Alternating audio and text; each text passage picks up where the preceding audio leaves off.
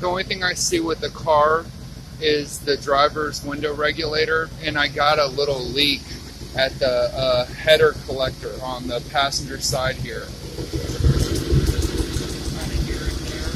But there's no kind of head tapping, knocking. Uh, the motor runs great.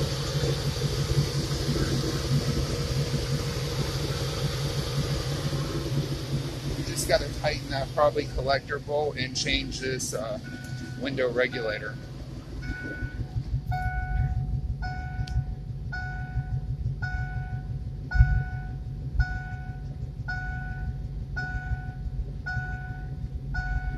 It's got actual 124, 507 miles. I haven't cleaned the inside or outside since I've got it. I've got a Canon back there and different tail lights for it. Uh, there's how the seats are, the headliner, the light. I'll go ahead and walk around this way too.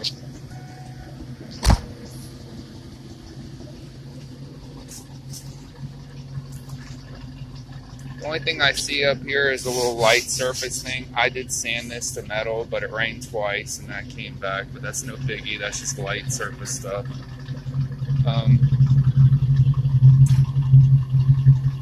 here the exhaust. I just started the car.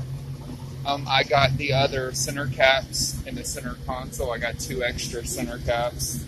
Um, one of the caps is missing on this wheel here so I got two or three in the center console. I did have to change this hood when I got it from the original owner. It's a little darker color. He had a dented up hood, and I don't roll like that. So I changed the hood. Of course, the latch was an issue too, so I changed this whole assembly. Um, I have to change this cable, the hood latch cable, but I went to the junkyard, picked up the hood latch and the cable. So either change that or if you get the car, you do that. Other than that, the AC works, uh, the car runs and drives. Just hear how it sounds. Has no issues. I'm located in Tampa, Florida. If you want it, come see me. Bring it home with you. All right, thanks.